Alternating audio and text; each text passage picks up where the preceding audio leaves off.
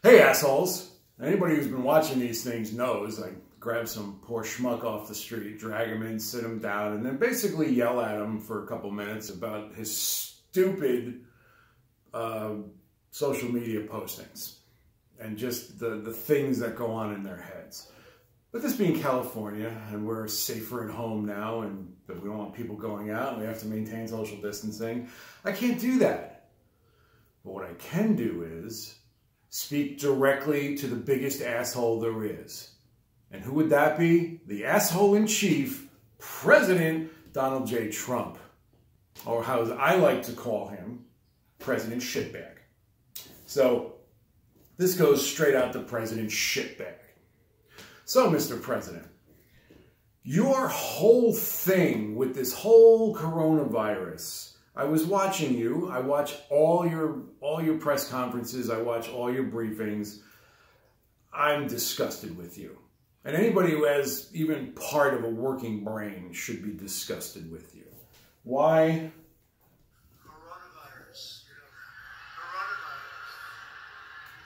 So everybody's booing coronavirus. Boo. Boo. Because you called it a hoax. The Democrat hoax. How about this?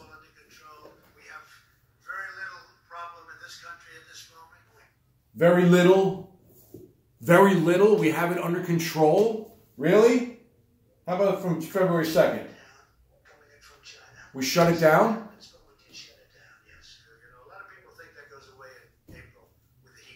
10 February, you said, everybody thinks, you know, everybody says it goes away with the heat. As the heat comes in. As the heat comes in. In. April, supposedly. You said supposedly. It's not even a word. You fucking moron.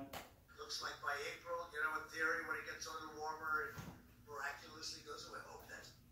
It's not me saying it. It's you saying it. So any of your MAGA people watching this that are going to dump on me about spreading stuff that you didn't say,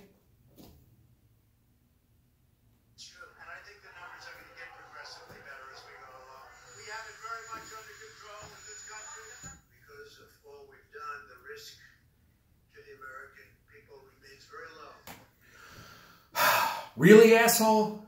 All this stuff that's been going on, and you did fire everyone from the um, from from the, the the group inside the government that keeps an eye on pandemics.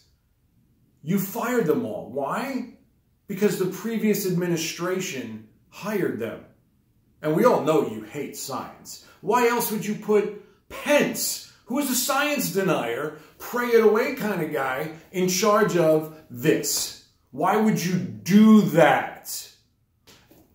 And why the hell would you yell at a journalist, a reporter guy who's been doing his job for a really long time?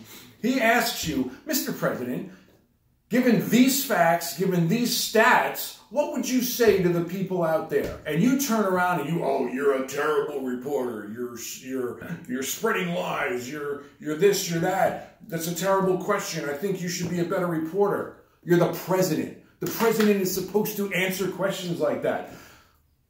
Like after you left, Vice President Pence, I'm going to call him Power Bottom Pence. Power Bottom Pence turns around and answered the exact same question in the way you should have answered it. So what was the real problem? Was it the question or was it the person that it was directed at? Because Power Bottom answered it really nicely, which something you can't do. So I'm tired of all of this, President Shitbag. Start doing your job.